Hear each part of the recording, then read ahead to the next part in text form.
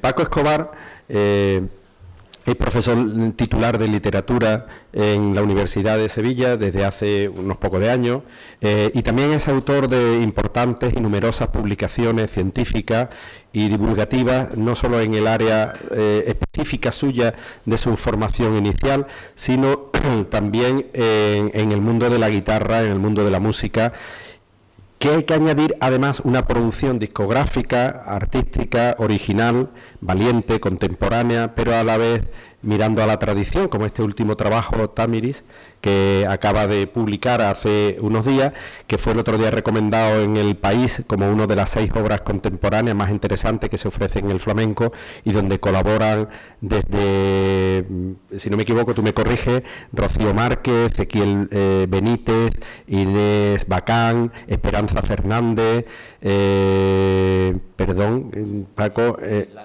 David Lagos Carmen Molina, María Marín. Caray, que tiene un Tamiris. Eh, es, la obra es un, es un Tamiris, como suena. Tamiris.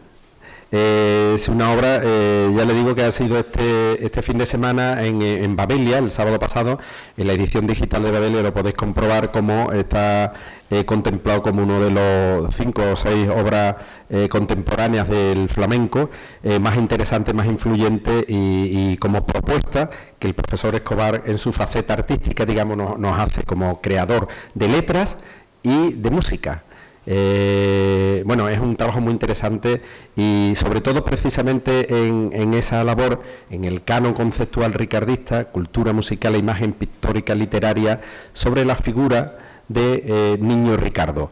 ¿Por qué Niño Ricardo y por qué? Eh, porque al hablar del flamenco según Sevilla no podríamos dejar pasar por alto la, la figura en la influencia de la guitarra de Niño Ricardo. Ya ayer nos adelantaban que Niño Ricardo había, eh, Alberto, creo que era por la tarde, nos decía eh, que eh, Niño Ricardo había eh, su influencia estaba en la obra de Paco de Lucía, de Ramón de Algeciras sobre todo, pero de Paco de Lucía, pero también en todos los artistas, eh, los guitarristas contemporáneos. ¿no?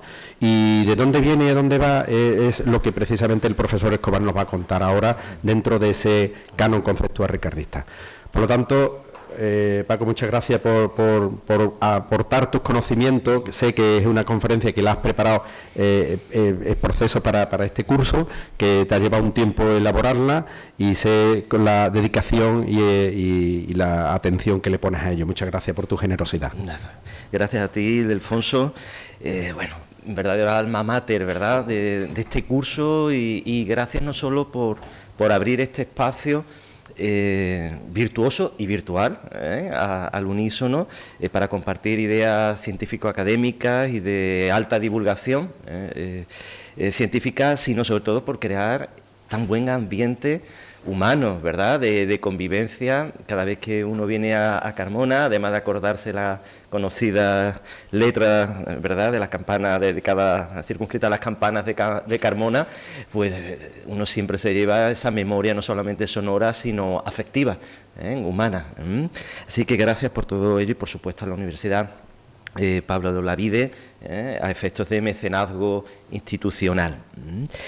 Bueno, mm, Ramón no, nos ha dejado ahí, ¿verdad?, con ese final suspendido, con la espiritualidad de Antonio Mairena a propósito de la razón incorpórea, ¿no? Eh, bajo el canon conceptual también de, Ricardo Molina y el grupo Cántico, ¿eh? cordobés, y justamente eh, en ese marco escuchábamos la guitarra de Niño Ricardo. Niño Ricardo de un lado y el otro que tocaba siempre, ¿verdad?, eh, siempre a la verita eh, de Antonio Merena era Melchor de Marchena. ¿eh? También van a salir ese diálogo guitarrístico de Niño Ricardo con Melchor de Marchena a lo largo de esta andadura que, que, pretendo compartir con, con vosotros cuando recibí el encargo, ¿verdad?, de, de Ir Alfonso, pues siempre es una responsabilidad, como, como todo, ¿no? Y digo, bueno, ¿por dónde atajo? Porque claro, tengo que abordar la guitarra en Sevilla, casi nada, ¿no? Divinas palabras, diría Valle Inclán.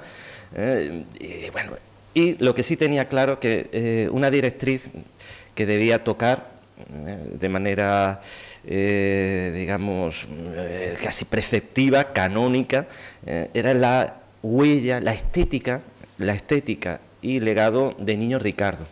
Porque sin duda, revisando la historiografía de la guitarra flamenca, un pilar fundamental. Ayer ya salió efectivamente eh, en el debate, ¿verdad? ¿Eh? A propósito de la, conferencia de Alberto, eh, es lo que se ha denominado, y seguimos con el cano como categoría conceptual, ¿verdad? El ricardismo.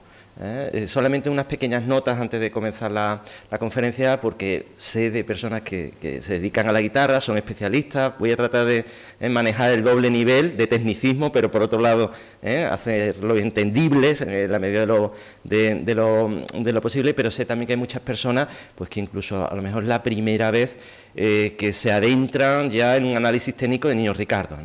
¿Mm? Entonces, em, como les decía, eh, desde el punto de vista de la historiografía de la guitarra flamenca, mm, aunque simplificando, eh, mucho se suele eh, una serie de categorías conceptuales. El montoyismo, digamos lo que sería la previvencia y recepción de Ramón Montoya, como el canon clásico flamenco. Otro gran legado es ¿eh? el legado de Niño Ricardo, por tanto, ricardismo, seguimos con los sismos, ¿verdad? ¿Eh? También el sabiquismo, ¿eh? porque ahora van a entender, por ejemplo, ayer ya salía en el debate de la conferencia de, Alberto, Paco de Lucía, gran estandarte adalid, ¿verdad?, de la guitarra flamenca contemporánea, tiene una primera etapa ricardista, es la que está recuperando también los modelos de, eh, como Montoya, bebe del montorismo, también Esteban de Sanlúcar, eh, eh, Mario Escudero, pero sobre todo se da cuenta que puede pasar del ricardismo, de todo eso, de toda esa primera etapa, a una nueva forma de entender la técnica de la guitarra flamenca, abanderada, ¿verdad?, que tiene como estandarte sabicas es esa velocidad ya de los picados, de las escalas, que no es que no estuvieran, por ejemplo, presentes en Niños Ricardo, que están, pero normalmente, eh, lo vamos a ver ahora, desde el punto de vista de la tendencia del ricardismo, eran eh, picados eh, cortos, eran como microescala, muy airosa, con gracejo, muy expresivo, y que son señas de identidad, por traer a colación en la conocida obra de Juan Goitisolo, ¿verdad?, de, del ricardismo. Ahora, eso sí, ya prometo e invito a Ildefonso que replantee, allí ya salió también, a propósito de la conferencia de, Cristina, eh, la posibilidad de una continuidad. Pues claro, hemos hablado, venimos de Antonio Merena, pero tenemos Manolo Caracol, tenemos Pepe Marchena en el cante y en la guitarra pasa lo mismo. ¿eh? Tenemos Niño Ricardo, pero tenemos Melchor de Marchena e incluso la protohistoria de la guitarra. Porque claro, Niño Ricardo no surge de la nada. ¿Eh? En él convergen una serie de estéticas, de directrices, incluso lo tengo analizado. Algún día a ver si termino esa historia de la guitarra flamenca que voy preparando ahora en la hora, ¿verdad? Eh, y eh, uno se da cuenta, como hay determinados motivos de Currito de la Jeroma, que lo va, eh, le está haciendo un guiño, otras veces a su maestro, Antonio Moreno, por ejemplo. Eso nada más que, digamos, los primeros compases, ¿no? la primera etapa de, de Niño Ricardo. Entonces invito a Ildefonso que considere, a lo mejor desde otra denominación, no hace falta segunda entrega, sino con otra denominación del título, plantearse una continuidad, porque eh, estoy convencido que Sevilla y el flamenco tienen que estar muy presentes y necesitan una revisión crítica eh, desde el punto de vista del estado de la cuestión para ofrecer saltos, avances, desde el punto de vista no solo cualitativo, sino también constitutivo. Muy bien. Dicho esto, eh, ya llevaba bastantes años y con el estudio de la, como saben, toda la vida con la guitarra flamenca, pero especialmente en, con la estética de Niño Ricardo, haciendo un símil y con un juego especular de espejo, ¿no? Respecto a lo que decía Ramón, eh, esa pena que tenía, ¿no? Esa mala noticia de no haber conocido a Antonio Meirena y esa buena, ¿eh? la distancia crítica, yo lo hago, pero como un tema con variaciones. Por un lado, eh, tuve la mala fortuna de no haber conocido en mi vida a Niño Ricardo que me hubiera fascinado. Muere en, en el año 72 y justamente dos años después, es el año de mi nacimiento, ¿no? Pero, como empecé muy jovencito a tocar la guitarra, tuve la fortuna, y además de vivir en el polígono de San Pablo, porque mi, padre era de Triana, ¿eh? tenía eh, de vecino a Juan Samador, a Turronero, pero también en la guitarra a José Cala, poeta. ¿eh? Y en los últimos compases yo cogí, en los últimos compases, igual que cogí también a Eduardo de la Malena, ¿eh? Eh, que iba mucho también por el barrio, también en la Macarena, eh, quedaba mucho con él, y prácticamente al unísono con mi aprendizaje en la Academia de, José Galván, ¿verdad? iba ya descubriendo, como una especie de revelación, como decía Mairena, ¿verdad?, el sabor, el aire, el gracejo, la intencionalidad de Niño Ricardo. ¿Eh? De hecho, eh, sin ir más lejos, el recital que ayer escuchamos de Castulo con Antonio Carrión, al margen de ese homenaje que le hacía, ¿verdad?, esos guiños al calor de mis recuerdos de Antonio Merena, Castulo, también Antonio Carrión iba haciendo, por ejemplo, en La Segrilla hizo una falseta con equísono de nostalgia flamenca. Y eso se lo escuchaba yo a Eduardo de la Malena y a José Cala del Poeta, la misma falseta. ¿eh? Ese es el legado, son pruebas ¿eh? fehacientes de ese legado, ¿no? de ese canon ricardista, que prácticamente por ahí voy a ir terminando la conferencia, ¿eh? llegado eh, el momento, dejándole con esas ventanas para una continuidad mm, en el futuro. O sin ir más lejos también, eh, hablamos antes de Melchor de Marchena, gran amigo de, Niño Ricardo, y lo vamos a escuchar ahora en un, eh, en un dúo, en un par de, temas por, por, bulerías, con aires también de las bulerías a cupletar. También Antonio Carrión ayer estaba haciendo eh, falsetas de Melchor de Marchena y también de Enrique de Melchor. ¿Eh? no solamente inmerso en esa tradición ¿eh? del toque de su padre, sino también con falseta de Niño Ricardo. Pues sirva este botón de muestra para justificar el objeto de estudio y podemos hablar un poco en diálogo con, el concepto ¿verdad? que eh, ha implementado Ramón a propósito de Antonio Merena, un canon conceptual. Ya, ya, verán ahora por qué canon conceptual ricardista. Voy a acotarlo solamente con unas líneas que me parecen esenciales. La cultura musical de Niño Ricardo, ya verán por qué, es un bagaje extraordinario. Eh, les voy a poner algunos botones de muestra cómo es capaz mm, de traducir la cantabilidad del fraseo armónico melódico de los grandes del momento. En Sevilla, eh, Pastora, su hermano Tomás, Pastora Pavón, ¿eh? de los Penes, eh, Tomás Pavón, Manuel Vallejo, Pepe Marchena, Antonio Mairena, los grandes, ¿no? la florinata del flamenco sevillano de entonces. Eh, Niño Ricardo lo vivió en los primeros compases de su aprendizaje, rápidamente se integra incluso desde el punto de vista mm, de esa sociabilidad eh, amical, ¿verdad? Eh, con los Pavón, eh, ya comentaré algún dato un poco desconocido seguramente mm, la historiografía de Niño Ricardo a, propósito y rápidamente se da cuenta Niño Ricardo que la base, la base del toque de la guitarra flamenca está en el acompañamiento al cante, al baile, esas son las señas de identidad y él tiene que traducir cuando da el salto ya a esa faceta como solista antes se hablaba en la conferencia de Rocío del Teatro de San Fernando, luego todo una continuidad, o Teatro de San Fernando, ¿verdad?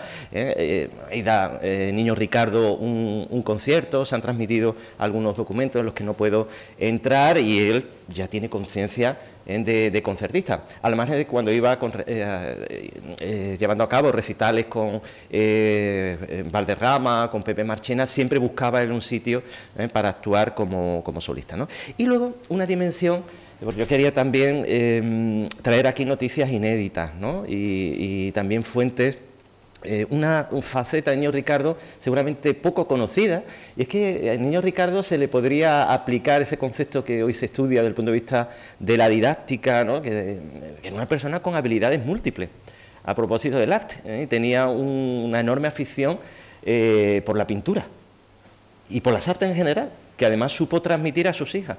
¿Eh? y a su hijo, que fue ¿eh? guitarrista, eh, falleció pronto y, bueno, una pena. ¿no? Y por ahí también les traigo en alguna fuente, porque bueno, he tenido la fortuna de acceder, aunque sea de manera parcial, a parte del legado material de Niño Ricardo. Y entonces me parecía que hoy era el marco para compartirlo con, con todos vosotros. Como sé que siempre eh, hay alumnos y también los tenemos eh, en línea y siempre eh, es, también una de, mis líneas de, trabajo en la universidad, tratar de contribuir a la formación de tesis doctorales, es fundamental partir de, una pluralidad metodológica, ¿no? de unos planteamientos epistemológicos, noceológicos, es decir, para que vean que no venimos aquí y empezamos a narrar, a contar historias, sino que tienen un sentido desde el punto de vista eh, metodológico.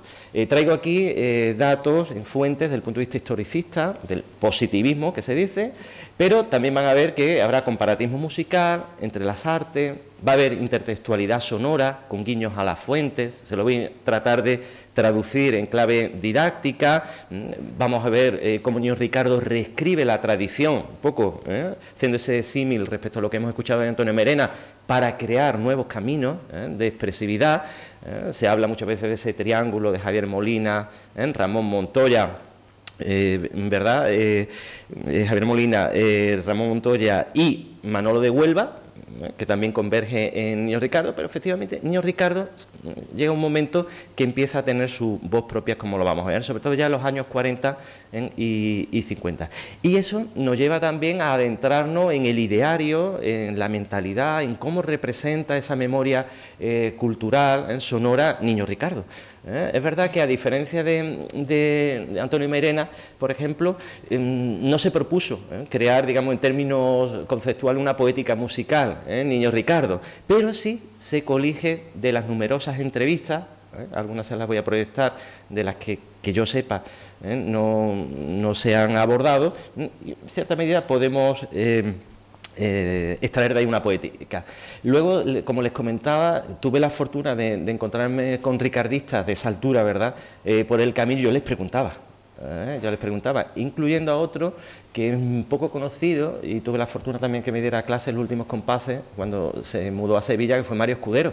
Mario Escudero tocaba muy bien el repertorio de Niño Ricardo y eso lo conoce poca gente. Mario me puso falsetas de Montoya y me puso también de Niño Ricardo. E incluso lo grabó. ¿Eh? Es una faceta de Mario también poco conocida. Bueno, pues de ahí también se puede extraer una serie de ideas. Por supuesto, análisis musical, voy a hacer lo voy a hacer de la manera más didáctica, aspectos vinculados a una retórica musical, ¿eh? podemos hablar en el término incluso de una neorretórica eh, musical, y aspectos que van más allá de la música. Es decir, podemos analizarlo desde el punto de vista metodológico, con la teoría de los polisistemas, la semiología musical, no solamente estudiar la obra ricardiana en sí, sino el sentido que tienen los títulos, eh, qué supone Sevilla eh, para Niño Ricardo, eh, e incluso desde el punto de vista de la interpretación, a efectos de hermenéutica o de la recepción y percepción de su propia obra música. En cuanto al estado de la cuestión, para que no se queden sencillamente con lo poquito que podemos abordar aquí en el poco tiempo del que disponemos, pues tienen dos obras fundamentales. Hay muchos artículos parciales que se abordan en los que se abordan cuestiones concretas, específicas, pero por un lado tenemos Wilkes, que por otra parte fue un discípulo ¿eh? muy, muy, muy directo de, Niño Ricardo y de él conocemos también, eh, podemos tenerlo como informante y, por supuesto la obra de eh, dos grandes maestros del estudio de la guitarra flamenca, Eusebio, Eusebio Rioja y Norberto Torres. Bueno, a partir de ese estado de la cuestión, que, que, es una cosa que está perfecta, vamos, es una maravilla leer esas dos obras, eh, pues todavía, pues como sucede en la ciencia, ¿no? siempre podemos ¿eh? ofrecer ¿eh? nuevos avances, nuevas miradas, y de ahí, de hecho, podemos trabajar muchos aspectos todavía que necesitan una, revisión. Solamente a nivel de, bueno, a modo de nivelación y para los que se adentren en la figura de Niño Ricardo y de su legado, ahí tienen un pequeño esquema, ¿verdad?, de sus etapas, para que puedan tenerlas en cuenta. Hay ese periodo inicial de aprendizaje con Antonio Moreno, ¿verdad?, con Currito de, de la Jeroma, sobre todo guitarristas muy cercanos al entorno de los Pavón y especialmente de Pastora. La década de los años 20 y 30 ¿eh? ya empiezan las primeras actuaciones, especialmente con los Pavón, las grabaciones, ¿eh? entre el año 26 y 36, y en el año, entre el año 36 y 39 lo cuenta Juanito Valderrama, ¿verdad?, en sus dos memorias ¿eh? biográficas, pues empiezan ya los primeros encuentros de Niño Ricardo con Valderrama, en Jaén, y coincidiendo justamente ya con la guerra civil. En los años 40 y en plena posguerra, Mm, bueno, es importante porque señor Ricardo ya sale de España, viaja a Ciudad de México, luego les voy a enseñar algunas fotos eh, poco conocidas y que me han llevado también a hacer un, eh, estudio con, con Sabica. Eh, empieza también sus incursiones en el cine de aire flamenco, ya verán luego, incluso tengo ahí unas fotos con Manolo Caracol, que fueron, fueron esas fotos las que se le enviaron a Niño Ricardo, para que las tuviera como recuerdo del rodaje, y se las traigo ahí para que la, eh, para compartirlo con, eh, con vosotros. Eh, los años 50 ya efectivamente, ahí están ya las señas de identidad de Niño Ricardo y que luego va a alegar, incluso lo que podemos hablar no solamente de un canon ricardista, sino de una escuela sevillana del toque. ¿Eh? Esto también requiere una serie de matizaciones, pero yo creo que eso lo dejaremos para la siguiente eh, entrega. Y, por supuesto, la grabación de, las dos grandes obras discográficas como solista. ¿eh? además, luego se van a reeditar, haciendo una edición ad hoc para Hispavón en el año 70. Ahora hablaremos de eso. Y, bueno, todo esto es maravilloso y tengo que también, a efecto de contextualización, señalar una cuestión importante, para bien y para mal. Para bien, como se puede imaginar, Niño Ricardo no fue uno de esos potenciales exiliados en la guitarra flamenca, como si lo fueron Sabica, como si lo fueron Esteban de San Lucas, ¿eh? como si lo fue, ¿eh? por ejemplo, Mario Escudero. ¿eh? que como se suele decir, se le atribuye a Enrique Morente, pero parece en el Candela, pero parece no es testimonio de Enrique Morente, enseñaban desde la distancia. ¿no? Niño Ricardo se queda, se queda en España y en cierta medida acaba siendo el gran sucesor y eso es lo que da sentido, ese paso del montorismo al ricardismo en, a uno de sus grandes maestros, ¿eh? cercano que es Ramón Montoya. Eh, quiero decir que, esto es un valor y afortunadamente para la historia de la guitarra flamenca eh, los guitarristas futuros, ¿verdad? Pues tenían ya un cano, tenían un espejo en el que mirarse. Claro, ¿qué hubiera pasado si se hubiera quedado también Sabica, Esteban de Sanlúcar, Mario Escudero y otros grandísimos guitarristas que además hacían diálogos con él? ¿Eh? Cuando eh, se entera que eh, viaja Valderrama con, con, Niño Ricardo, pues bueno, lo recibe allí, empiezan a hacer dúos de guitarra y luego comentar eso, ¿no? Bueno, lo dejo ahí un poco para que lo tengan en cuenta. Luego, en los años 60, hay ya efectivamente una divulgación de los conceptos musicales ricardistas, por supuesto, las grabaciones, él sigue en paralelo sigue grabando, ¿eh? grabando eh, como guitarrista ya especializado, como el gran maestro del acompañamiento al toque, ¿eh? esa difusión enorme en dos grandes enclaves, Sevilla y también diálogo con, Madrid, e incluso una faceta poco estudiada de Niño Ricardo, pero que me parece muy interesante y lo pongo en diálogo con lo que ha comentado Ramón, como Antonio Mairena ya estaba en cierta medida siendo el padrino, el mentor de esas nuevas voces que ya eran maestros, pero que seguían la estela especialmente de, Antonio Mairena. Y Niño Ricardo fue testigo, testigo de, de ello. Es el caso de Lebrijano en esas grabaciones con niño Ricardo y con un joven Paco de Lucía, Paco de Algeciras, Paco de Lucía, incluso coincidiendo los dos, acompañando al Lebrijano, niño Ricardo y Paco de Lucía como una especie casi delegado, ¿no? de entrega del testimonio eh, literal, eh, musical ¿eh? de, de, niño Ricardo, pues coincidieron, pero también Chocolate, cantado de Jerez, pero que hizo la carrera en Sevilla y fue vecino mío, en las casitas bajas del polígono y lo veía, lo veía mucho, ¿no? Curro Malena, ¿eh? que luego lo veremos y, mando aquí un abrazo enorme a, Curro y, una llamada, llamamiento a la afición flamenca, a la comunidad. ¿Eh?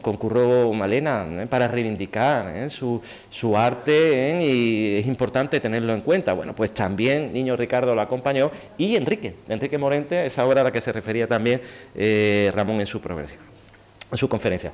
Finales de los 60 hasta el año 1972 se nota incluso un progresivo declive, cierta merma, lógica, eh, lógicamente, de sus habilidades técnicas, incluso algunas de sus grandes falsetas, nostalgia flamenca y tal, se graban y con algún tipo de deficiencia técnica, pero por supuesto no constituye en, modo alguno un desdoro eh, de eh, legado estético de este gran maestro de la guitarra flamenca. Como le decía en el estado de la cuestión, saludido a esas fuentes, eh, a esa triangulación a la que yo me refería, pero creo eh, que hay que revisitar todavía más el, estado de la cuestión, hay que abordar eh, ese pre-ricardismo, esa protohistoria, insisto, se pueden incluso detectar huellas, guiños intertextuales sonoros, en los que se ve como Niño Ricardo está imitando a Antonio Moreno, a Currito de la, de Jeroma, y claro, había que ver toda esa tradición de Paco el Barbero, ¿no? la Academia San Esteban, el Niño Pérez con Vallejo, pero claro, es que luego eh, después Niño Pérez le toca también, Niño Ricardo, ¿no? A Vallejo, ¿no?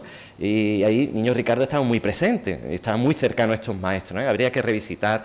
Y sobre todo porque Niño Ricardo, aunque parte de ese toque a lo barbero, ese son batente, como se dice en términos eh, musicales, con esos rasgueados, con ese empleo del pulgar, con esa forma de percutir en la, en la guitarra flamenca, eh, por supuesto, eh, ya rápidamente, como antes les decía, traduce esa cantabilidad armónico-melódica del cante, ¿verdad? Y hace que su guitarra eh, se expresa así, sea muy cantable. Bueno, tanto es así, tanto le gustaba a, Niño Ricardo el cante y el ritual del cante y todo lo que acompañaba ese ritual y esa ceremonia con esos grandes cantadores y, amigos que, bueno, y es, una de las señas de identidad también eh, del toque de Niño Ricardo, es que eh, si ahora lo van a escuchar, si uno pone bien en el oído a la hora de analizar la, la fuente, uno puede escuchar cómo musita ¿eh? la melodía de Niño Ricardo, como si estuviera cantando.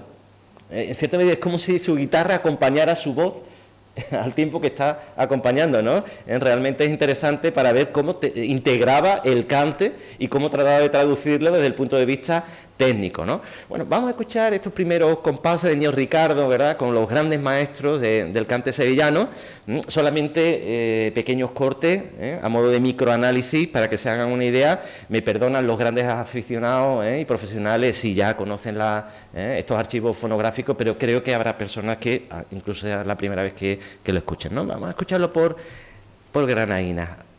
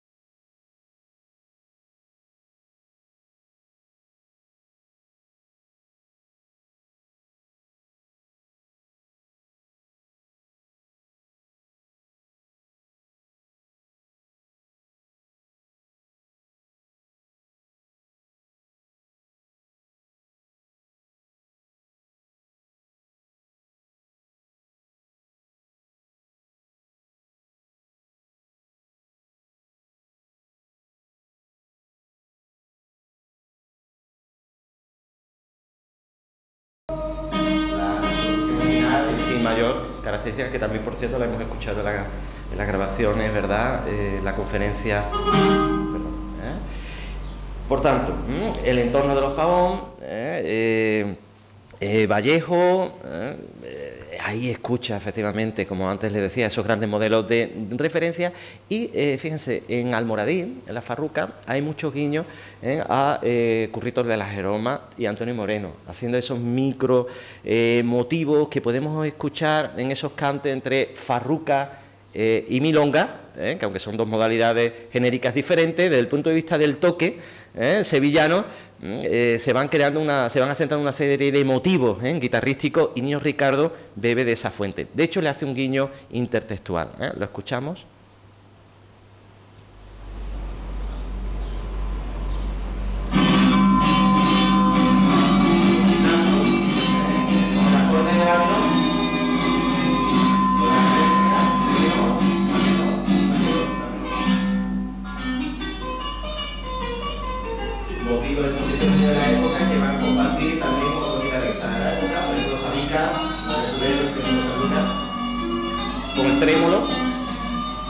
Esa cantabilidad.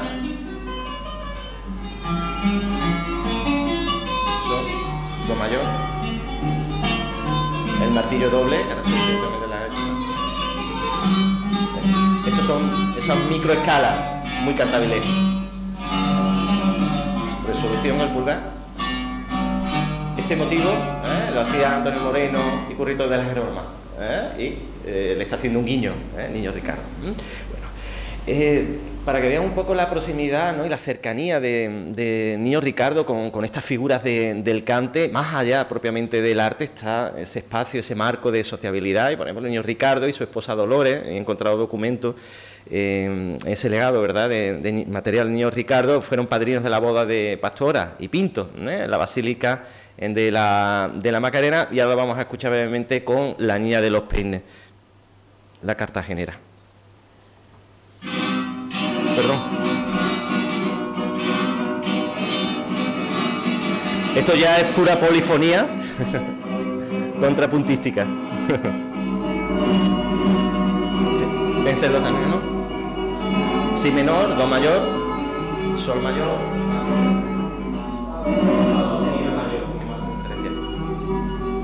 trémolo en si menor, entroncando con rama montoya, lo dejo grabado. Es verdad que también lo hacía el película del Lunar Padre.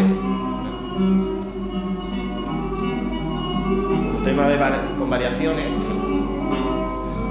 Resolución con el arpegio.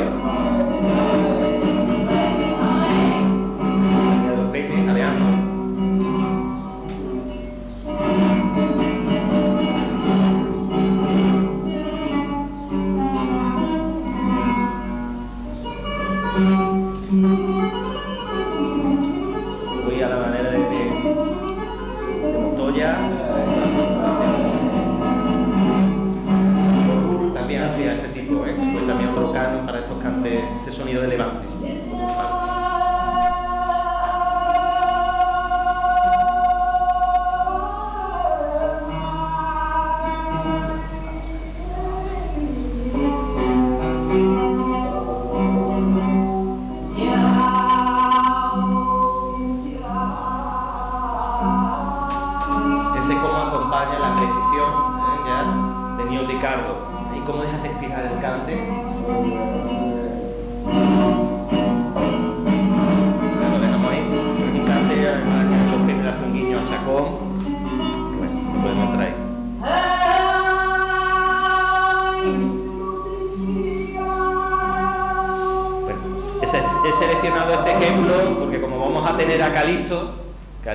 Aprendió este, ¿eh? acudió este archivo fonográfico. Y luego ya para ir eh, eh, completando ¿no? alguna de esas voces sevillanas que acompañó Niño Ricardo, pues tenemos a Pinto. Y como ayer se habló también de los pregones, y como pasa de esa tradición folclórica, ese sabor popular, pues vamos a escuchar una creación flamenca, además aparecía así, como pregón creación por parte de Pepe Pinto, pues también Niño Ricardo fue testigo de toda esa evolución del género, el florero montañés. ¿eh? Ayer hablábamos, ¿verdad?, de, de las flores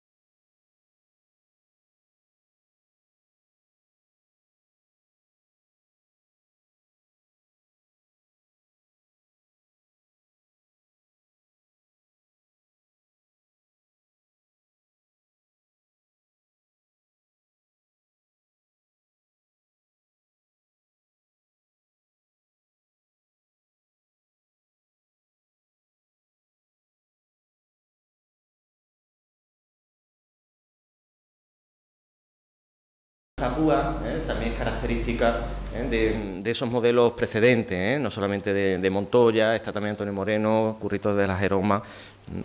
Muy bien, seguimos avanzando. Ahí está. Bien, a efectos desde el punto de vista de la, de la organología y de las guitarras, ¿no? mucho podríamos hablar, pero solamente una pequeña muestra y eh, bueno, sintió predilección eh, Niño Ricardo por, eh, por la guitarra de los hermanos Conde y, de exceso y comparto con vosotros esta fotografía inédita que además presenta esta nota autógrafa de Niño Ricardo, se acompañado de los conductores de guitarra, hermanos Conde, sobrino de Esteso, y dice, esta tengo eh, gran interés en que salga ¿no? a la pública. Bueno, y esto, esto es interesante, porque Ricardo fue construyendo, igual que en el caso de Antonio Merena lo hemos visto antes, su imagen, su carrera profesional. Lo van a comprobar eh, dentro de nada por varias cuestiones y, documentos que él mismo eh, preparó. Seña de identidad, como hemos escuchado, un estilo airoso, a mí me recuerda mucho el toque gaditano, vía también de mediadores como Manolo de Huelva, ¿eh? como cano expresiva, pero también hay un concepto no solamente de la gracia del aire, sino de la etnicidad. ¿eh? Y, esa confluencia no solamente de la herencia ¿eh? del pueblo gitano, sino también poniéndolo en diálogo con esos motivos arábigos que van más allá de la estética del alambrismo, ¿no? de ese canon de la guitarra clásico flamenca desde, desde ¿no? siempre buscando una estética de, de los hondos. Como les decía, se ve perfectamente cómo traducen esa cantabilidad, muchas veces tímbrico, eh, melódica, y luego les pondré un ejemplo a propósito eh, de su acompañamiento a Enrique Morente o el, Lebrijano. ¿no? Vamos a escucharlo Ahora con Tomás Pavón.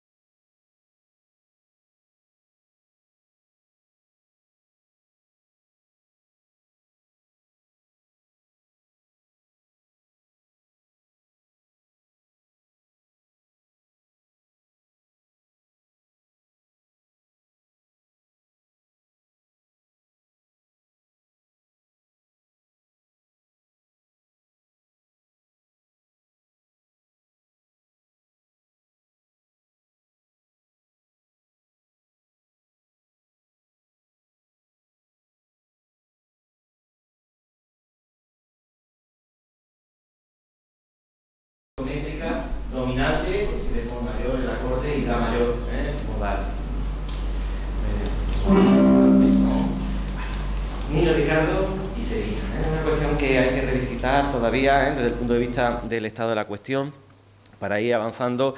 no les voy a poner todos los audios, pero los dejo ahí para que si luego en el debate ¿eh? desean que volvamos ¿eh? sobre algún aspecto o archivo fonográfico concreto, eh, pero sencillamente revisitando en su discografía los archivos fonográficos vemos esos guiños, ese concepto de sevillanía, los documentos que he estado consultando, luego daré algunas notas sobre su epistolario, está Sevilla muy presente en todas las costumbres. Fíjense, por ejemplo, esa serenata, efecto de caracterización genérica, el recuerdo a, a Sevilla, que entronca también con toda esa eh, tradición de escordatura ¿eh? en re, ¿eh? que arranca desde Tárrega, que luego van a seguir Montoya, Borrul y, otros, no se los voy a poner. Por supuesto, aspectos que tienen que ver desde la partida de nacimiento, en todo eso hay que verlo, pero me interesa avanzar más en ese retrato y autorretrato que el propio niño Ricardo hizo de sí mismo y que se ve no solamente en su toque, eh, como fue construyendo sus señas de identidad, sino desde el punto de vista de otras facetas artísticas. Y, esto no lo quería descuidar eh, y compartirlo. No sé si lo sabían, pero era un grandísimo aficionado a, la pintura. Ahí lo tiene y, me, encanta ese juego casi de estructura china o de Mins en Abim, ¿no? ¿eh? de, casi una especie de, guiño velasqueano, ¿no? el autor retratándose, pero con la obra de arte, ¿no? Eh, construyendo la obra de arte sobre su retrato y, pide que le hagan una, una fotografía. ¿no? Todos sabemos que muchas veces los guitarristas tenemos que mirarnos el espejo por la digitación las manos, ¿no? sobre todo cuando componemos algo, tú sientes si los saltos a nivel de digitación eh, tiene una lógica y te resulta cómodo, pero eh, como ven también esta personalidad de Niño Ricardo, esta fotografía autógrafa y con esa eh, anotación el año 52, pues tiene también su, su interés. El espejo, ese sería el motivo fundamental para estudiarlo, ¿no? tan importante la danza, también en la guitarra. esto es muy interesante ver esa construcción de las señas de identidad a partir del arquetipo del narcisismo del artista, lo decía ¿eh? También Ramón a propósito de Antonio, eh, de Antonio Mairena, ¿no? Niño Ricardo construyó, ¿eh? fíjense, su propia imagen, incluso él hizo autorretrato, es un dibujo suyo que me interesa mucho a nivel emocional, ¿no? Lo que expresa.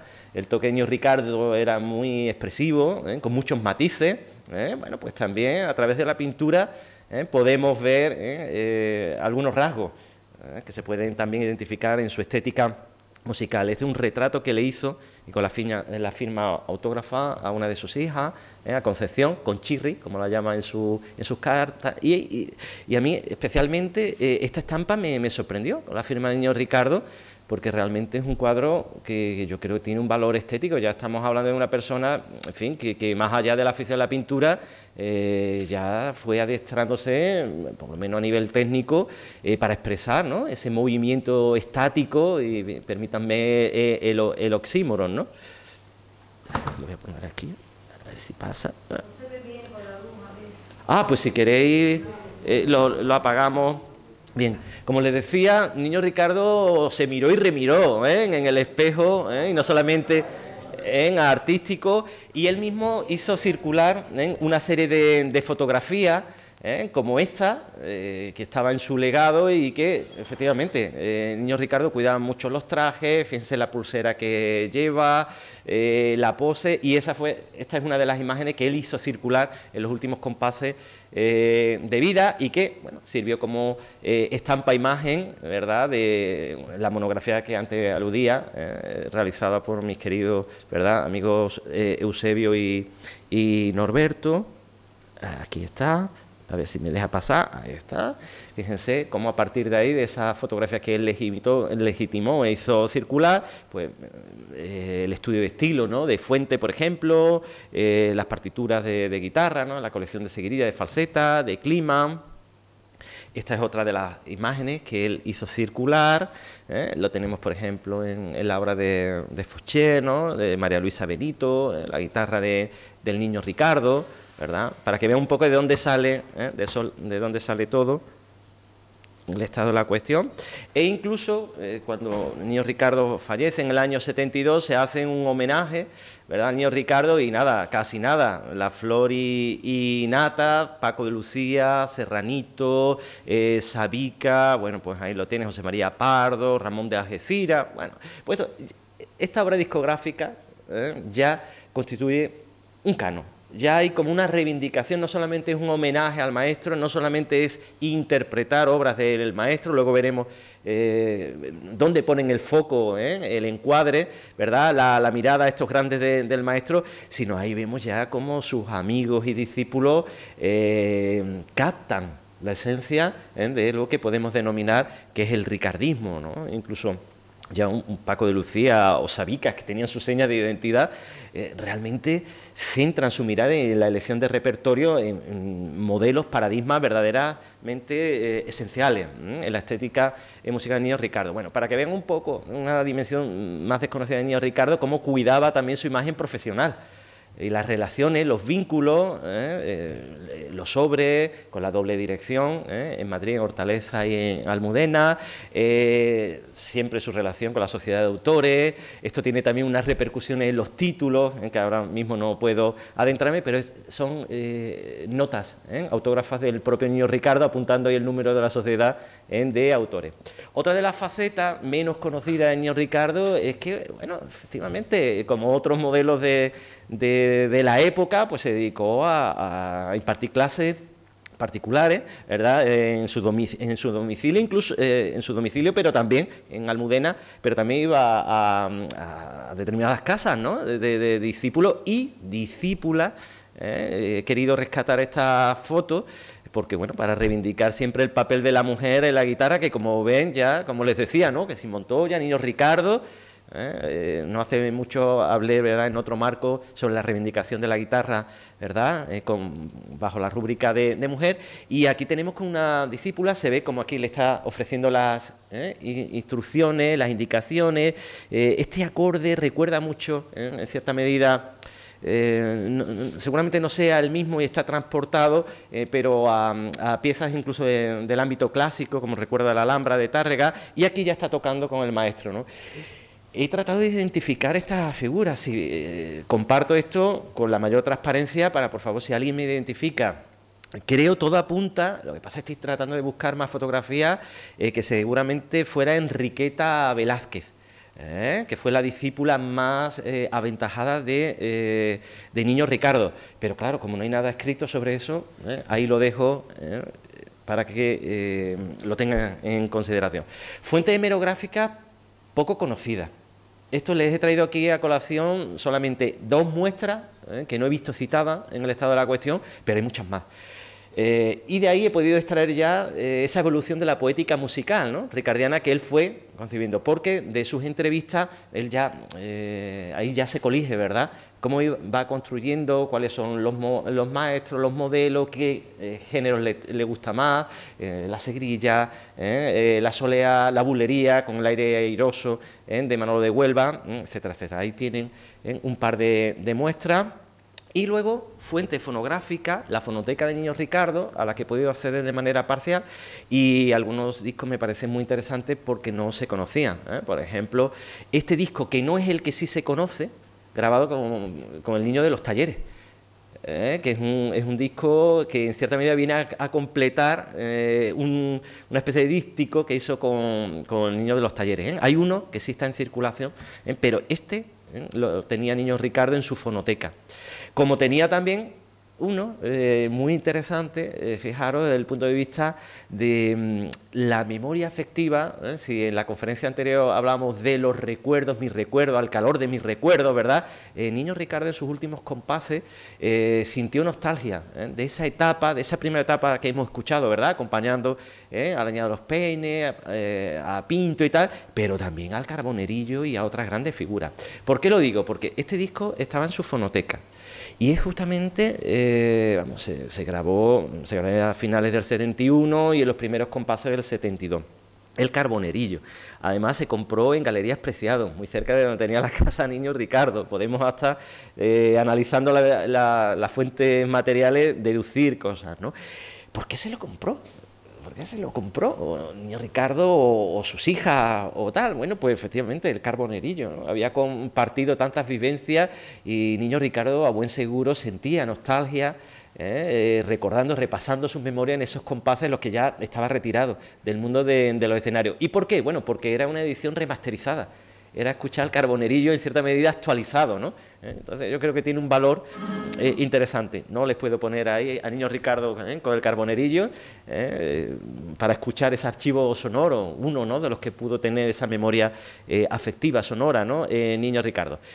Bueno, y como les comentaba, eh, fruto de toda esa sevillanía ¿no? en, el, en el flamenco, no solamente se, circunscribe al cante, sino como antes les apuntaba, en el show de Marchena. Y así entramos en juego con lo que han escuchado a propósito de, de, mm, Ramón, ¿no? Y ayer, ¿eh? en el concierto que escuchamos en vivo y en, directo. Y es que hizo eh, Niño Ricardo dúos de guitarra, eh, un género que se practicaba mucho, él mismo lo hizo con Sabica, ahora vamos a ver un ejemplo con, con unas fotografías inéditas que le enviaron a Niño Ricardo. Eh, y son justamente, esas son las fuentes materiales que, me he servido. También hizo Sabica dúo con, por ejemplo, Mario Escudero, que además eran compadres y tenían ahí unos lazos, etcétera, etcétera. Bueno, pues también eh, lo hizo Niño Ricardo con Melchor de Marchena. Ahí tienen dos muestras maravillosas, no se lo pongo eh, y me da mucha penita, pero hay que avanzar y me gustaría desplegar para luego pasar al intercambio de perspectiva los aires de Triana esto es muy interesante, eh, como Niño Ricardo eh, alude a esa, categoría conceptual. También lo hace Esteban de Saluca y Sabica, ¿no? Los aires, el sabor. Es decir, lo, eh, lo que es rescatar la esencia, lo que supone, ¿verdad?, traducir ese paisaje sonoro de Triana llevarlo a la guitarra. Hay una cantabilidad muy interesante, ese dúo que hace contrapuntístico con Melchor de Marchena, muchas veces trabajando intervalos eh, de quinta, de sexta, ¿eh? creando eh, efectos contrapuntísticos. Y bulería sobre los motivos de los piconeros esa confluencia, ¿verdad?, entre el flamenco, la copla, como hicieron también eh, Sabica, eh, eh, como hicieron Mario Escudero y, otros grandes artistas. Sobre todo se tiende al sistema tonal menor, es decir, transmitir cierta tristeza con la posibilidad de pasar al correlato mayor, al sistema mayor. Por ejemplo, para que puedan enlazar esto que estoy diciendo con lo que han escuchado en la conferencia anterior, cuando dijo Ramón, ¿no? Y ahora pasa al modo mayor. Y escuchábamos, ¿verdad?, ese cambio de color ¿eh? de Antonio Merena en la bulería que parecía que se hacía más alegre, ¿no? Bueno, ese es el sistema tonal mayor. El sistema tonal menor es cuando eh, se trata de transmitir justamente un efecto contrario, ¿no?, ¿Eh? de tristeza. Bueno, pues ahí lo encontramos como un tema con variaciones. Sigo adelante y esta foto es inédita, fijaros, de Niño Ricardo en su estancia ¿verdad? Con Sabica, ahí lo tienen, eh, enrolado, ¿verdad? En ese viaje con Valderrama, en el que Valderrama ya tenía ahí en cierne eh, El emigrante, no les puedo contar toda la película, lo cuenta muy bien en dos versiones el propio Valderrama en sus memorias, pero estas fotografías son inéditas y se las mandaron a Niño Ricardo. ¿Eh? y fíjense que, ¿eh? interesante, incluso en la foto anterior pueden ver la, pintura ¿no? de sabor mexicano, ¿no? costumbrista ¿eh? de la época. Estas son fotos también de esa época en las que se creaba un decorado escénico ¿verdad? Ad hoc, trabajando ese concepto de teatro y es muy interesante cuando ya empiezan a trabajar eh, a servicio de ese tipo de atrecho especial e incluso con ese sombrero, ¿no? Eh, eh, que va a ser también un rasgo distintivo de, Valderrama, él mismo lo, cuenta, pues aparece aquí. Y esa es una fotografía inédita, como ven, con notas del propio... niño Ricardo, no les puedo poner ahí ese sonido con, con Valderrama, pero bueno, se lo paso aquí, aquí. A ver si me deja. Ahí lo tiene. Bueno, eh, es interesante en esa forja del emigrante qué fuentes pudo haber tenido eh, Niño Ricardo eh, para constituir esa cadencia andaluza. Eh, no puedo entrar, pero esa es una línea muy importante, me parece, para revisitar el canon estético de Niño Ricardo, que es la identificación de, fuentes, más allá de la guitarra flamenca. Esta es una de ellas, a propósito de la leyenda del beso, en, un, una especie de cadencia que hay, estructura armónico-métrica, mm, que a buen seguro Niño Ricardo pudo tener en mente. Otra de las líneas de indagación para revisitar el canon de Niño Ricardo tiene que ver con las cartas.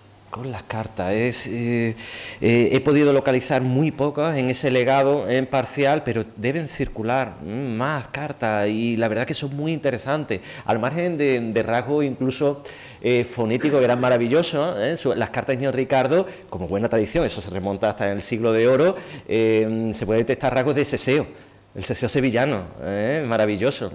Tiene un valor afectivo para mí que, huele, ¿eh? tiene un sabor de sevillanía extraordinario, hasta en las cartas. ¿no? Bueno, me quedo con algún testimonio, hago una selección de dos cartas, primero porque ofrece un salto cualitativo desde el punto de vista de la historiografía, de las relaciones de Niño Ricardo e incluso para entender y contextualizar algunas de sus composiciones más famosas y que, bueno, que es importante tenerlo en cuenta. Como bien saben, en el año 45, eh, mm, digo las personas más, más avezadas en el flamenco, que, afortunadamente las, tenemos aquí.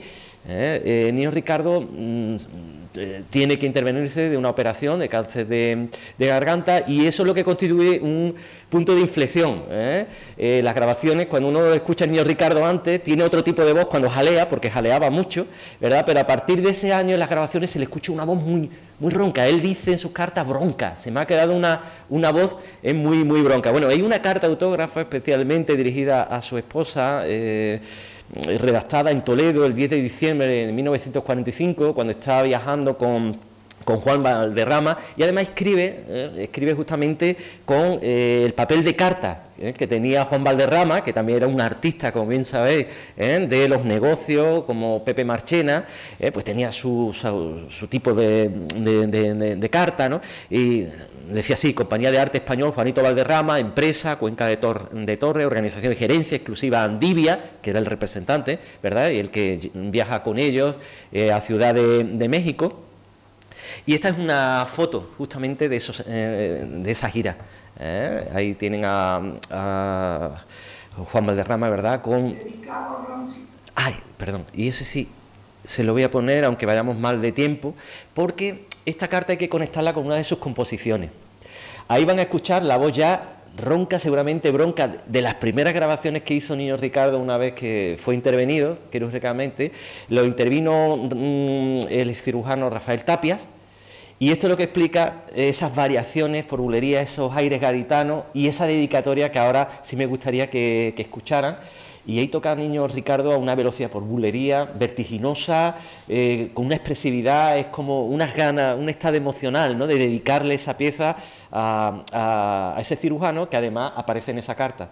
Eh, le comenta además unos, los entresijos de cómo Niño Ricardo estaba deseando terminar la gira para llegar a Sevilla, recibir los resultados de la autopsia, lo cuenta y lo narra. Cómo fue su encuentro con Rafael Tapia, eh, cómo le dio la mano Rafael Tapia diciendo enhorabuena, no se ha encontrado nada, eh, todo bien bueno, eso era como una especie de, mm, resurgir, ¿no? de, revivir, de, volver otra vez a la vida. Bueno, en ese marco eh, contextual, más allá de algunas anécdotas, la mujer le pide mazapanes para su hijo, para sus hijos, ¿no? Em, eh, niño Ricardo, siempre preocupado por la imagen, dice que en cuanto llegue se va a ocupar ¿no? de, que su hijo esté bien vestido, eh, tal.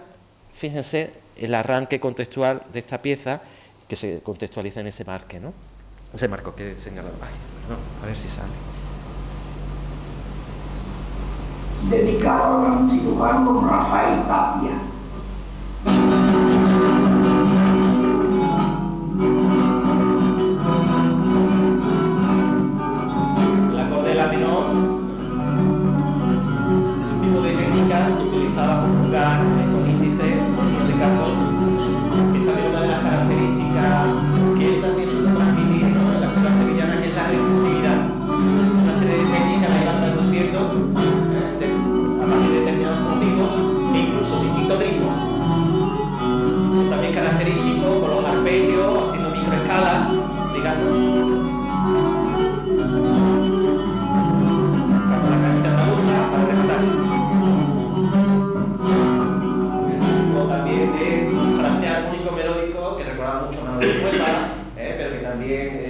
Podemos identificar en Esteban de Sanlúcar, en, por ejemplo, en esa grabación de los cuplés por bulería, eh, acompañando a Antonio, de eh, Antonio Merena, hace una falseta muy similar, que luego incluso con el tiempo va a imitar Paco de Lucía. ¿no? Ahí se ve perfectamente ese cano del ricardismo. Ah, ahí va, ahí está.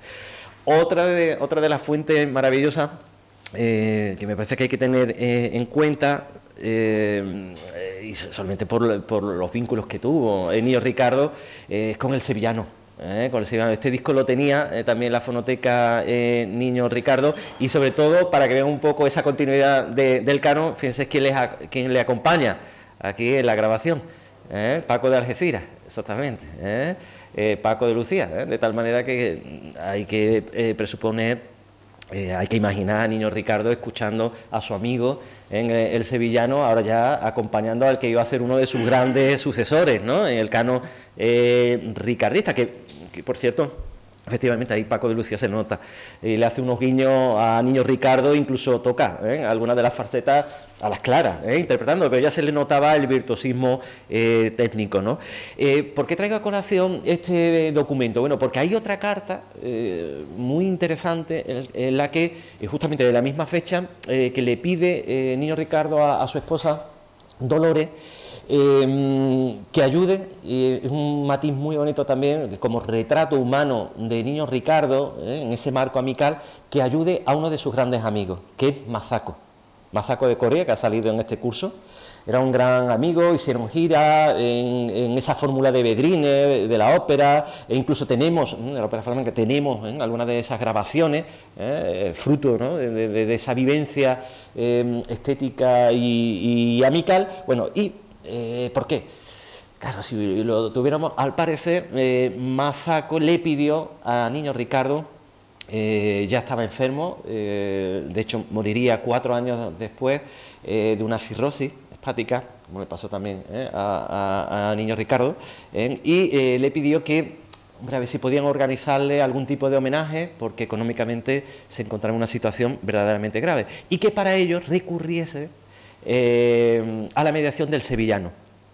¿eh? Entonces, eh, es muy interesante, por un lado, una de, las figuras que van a ayudar en ese homenaje es el sevillano, de hecho le dice Niño Ricardo en la carta a su mujer, para organizarle el homenaje busca al sevillano. Pero es que además Masaco se colige de la carta, también se, se deduce que le había pedido también ayuda no solamente a Niño Ricardo, sino a Juan Valderrama. Y entonces la carta le dice Juan Valderrama a su mujer, dile a, Masaco, a través del sevillano, que se quede tranquilo, que Juan Valderrama va a encabezar en ¿eh? la lista de donantes, bueno, donantes lo he utilizado yo, dice que van a ayudar, que van a contribuir eh, con la cantidad de 100 pesetas. Eso dice, ¿no? Entonces, es un detalle muy interesante, más allá de, la memoria sonora, esa memoria afectiva, esa ayuda, ese marco de solidaridad que da también un retrato humano ¿eh? de, niño Ricardo. No les puedo poner eso porque no, no, no hay tiempo.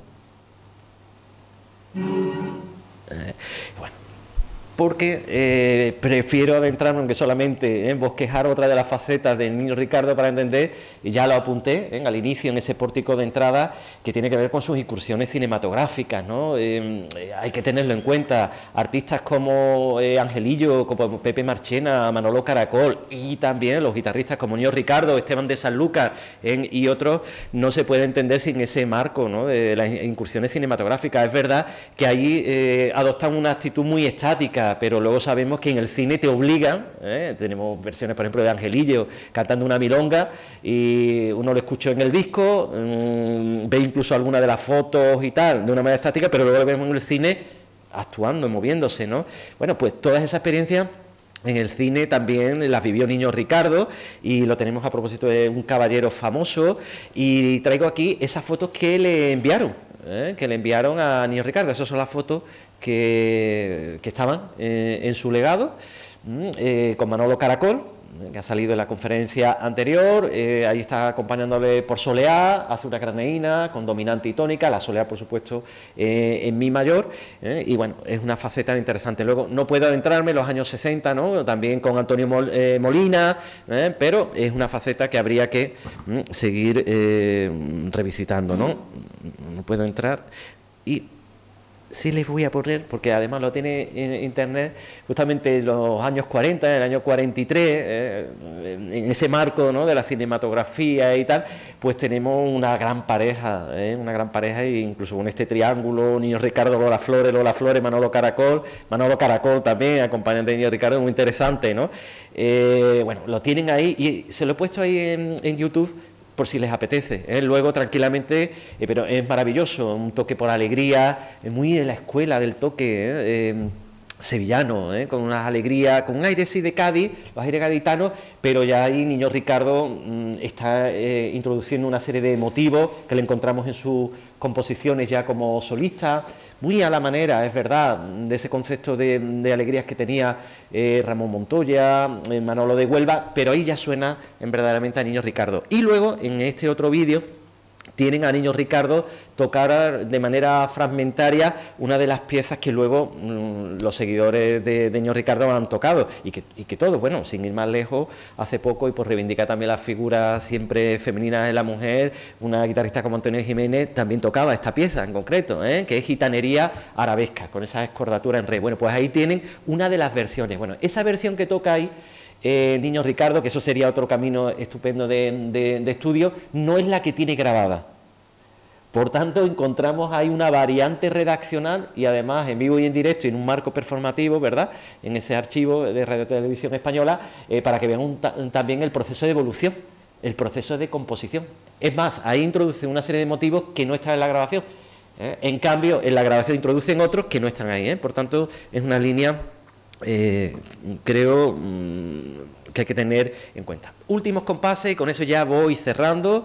¿Eh? Eh, prácticamente antes de los compases finales, ¿verdad? Eh, atendiendo al óbito de, de Ricardo en el año 72, como les decía, creo que es una faceta que hay que tener en cuenta, que hay, que analizar. Yo he analizado esos discos en los que Ñor Ricardo acompaña tanto a Lebrijano, Lebrijano con Paco de Lucía, en ese arco en el año 65-66, luego vuelve en el 69, Chocolate en el 66-67, y bueno, yo esperaba encontrar todos esos discos en, en la fonoteca de Ricardo, pero solamente he encontrado eh, todos, todos los que grabó con chocolate. ¿eh? Con chocolate. De hecho, esto está grabado, fíjense, con componente de, guitarra de Ricardo, pero este fue el ejemplar del disco que tuvo Niño Ricardo y que le mandó eh, chocolate. ¿no? Por supuesto, hoy se aludido a los cantes antiguos del flamenco del 68 maravilloso, solamente para que vean un poco ese marco de recursividad, cuando uno escucha a Enrique Morente en lo mejor de tu sueño, eh, es el toque en mi mayor, con falseta, eh, que ha ido grabando Niño Ricardo en todo ese legado, en esa seguirilla, los ojos abrió, hay falseta ¿eh? de composiciones suyas, como Nostalgia eh, Flamenca, en la malagueña grande de Chacón, que te quise con locura, ¿no? Yo nunca ¿eh? negaré que te quise con locura. ahí le hace unos guiños, incluso en el arranque, en fa sostenido mayor, se está evocando composiciones suyas como Tierra Minera, Tarantas no la podemos escuchar, o por ejemplo los fandangos que le acompañan a Enrique Morente, de rabia rompí a, a reír la introducción eh, es justamente la introducción de su composición Marisma de Huelva. Es decir, cuando está acompañando a Enrique Morente, eso no se suele decir, pero está repasando su memoria también, ¿no? En la línea de, Antonio Morena, como veíamos antes, al calor de, de, mi, recuerdo. No, no, puedo entrar, pero bueno, eso que estamos escuchando es, el inicio, ¿eh? justamente con esos aires de, de Taranta, así comienza tierra minera y así comienza su acompañamiento eh, a, Morente, ¿no? Curro Malena, ¿eh? este disco que grabó, maravilloso, y fíjense, con una estructura casi de capo, ¿no? Eh, el prólogo se lo hace Antonio Mairena. Decía Ramón, en este disco, decía Ramón como Antonio Mairena realmente eh, cuando veía un potencial, una figura potencial, eh, ahí lo apoyaba, pues ahí justamente, y no solamente de, viva voz, sino por escrito. ¿eh? Entonces el prólogo es muy interesante, con el toque de Niño Ricardo, Niño Ricardo con los vínculos con Antonio Merena, me parece mm, un disco verdaderamente interesante y ya concluyo solamente para que vean mm, otra fase de Niño Ricardo, este es un disco que estaba también en el legado de Niño Ricardo, de los tres de Granada, ¿eh? con una dedicatoria autógrafa porque coincidió con este grupo en París. ¿eh? Yo tengo localizada esa estancia que hizo Nio Ricardo en París, con unas fotos también muy interesantes. Eh, y lo voy a dejar justamente para prácticamente, aquí como el legado de un canon, para lo que sería la siguiente conferencia. Esa invitación que te hago a la segunda parte, en la línea de Cristina, que es justamente como toda esa relación y otros artistas que ya no puedo ir ¿eh? Eh, desarrollando y de hecho por ahí veo a Antonio, ¿no? Pues Antonio eh, debería también estar en esa, en, esa lista. Bueno, ahí tienen algunos de los más destacados, algunos de ellos incluso, como les he dicho, tuve la, ocasión de coincidir. También hay otros como Manolo de Brenes, ¿no? Manolo Brenes que también los he escuchado. Félix de Utrera, que prácticamente no solamente participa en esa antología, en, ese, eh, en esa obra votiva, ¿no? ofrendada a Niño Ricardo, sino que es que en sus toques, en sus grabaciones, que eso sería ya un estudio, eh, está haciendo las falsetas de Niño Ricardo, ¿no? Paco de Lucía, eh, por seguir ese canon, eh, no solamente en la soleá que tiene, con la que cierra Siroco, en Gloria a Niño Ricardo, que es un homenaje explícito, pero evolucionando, pero hay muchos de los acordes que hace Paco de Lucía reescribiéndolos, sobre todo a partir del séptimo traste, para darle esa seña de, identidad, ¿no? En mi mayor, el modo flamenco, sino, fíjense, una de las piezas de, Paco de Lucía habría que interpretarlo en clave ricardista ya. Lo que pasa que ya reformulado, un poco lo, que comentamos a profesor de Antonio Merena, ¿no? Solo quiero caminar el arranque, la propia escordatura ¿eh? en red. Eh, está haciéndole un guiño a toda esa tradición arábiga de gitanería arabesca. De hecho, el arranque ¿eh? es ya la reformulación de ese legado, en cierta medida, Niño Ricardo acaba ahí y viene ¿eh? Paco de Lucía. E incluso, y ahí lo voy a dejar, y me hubiera gustado enlazar, pero lo dejo para la mesa, ¿eh? ojalá en esa mesa también podamos contar, eh, o para la próxima, con Manolo Franco, con José Luis Postigo, por desgracia no podemos contar con Quique Paredes, pero hablé mucho con Quique sobre la recepción de Nino Ricardo a través de una figura mediadora que bien merecería también un estudio, y lo dejamos para la siguiente ocasión, que es el maestro Suna que fue maestro de todos ellos, y eh, también de una mujer, María José Domínguez, con la que también eh, he podido eh, tener, conversar con ella, además incluso de ponerme alguna de, las falsetas de Niño Ricardo a través del maestro Osuna. Con ese final suspendido, lo dejamos para la próxima ocasión. Muchísimas gracias.